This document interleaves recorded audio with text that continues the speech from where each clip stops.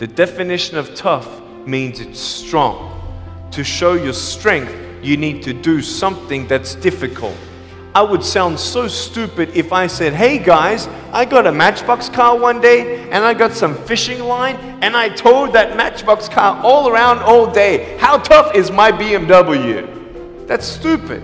I don't care if you end up being a janitor in this school, I'll tell you why. Because the janitor in my high school inspired me to be a speaker.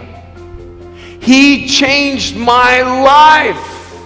He said, You should be a speaker. You know what I said? You're crazy. He said, No, really, you need to be a speaker. I said, Stop it, man. Four months later, he twisted my arm, and I said, Yes.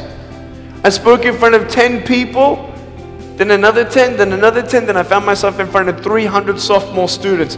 And three minutes into my speech, half the girls were crying, and one girl in the middle of the room started weeping. And she put up her hand and she said, I'm so sorry. Can I come up there and give you a hug? And in front of everybody, she came up and she hugged me and she cried on my shoulder and she whispered in this ear, Thank you, thank you, thank you. No one's ever told me that they love me. No one's ever told me that I'm beautiful the way that I am. It was because my parents told me that I was beautiful that I'm still here. Some of you don't have those parents, and that's why I'm here.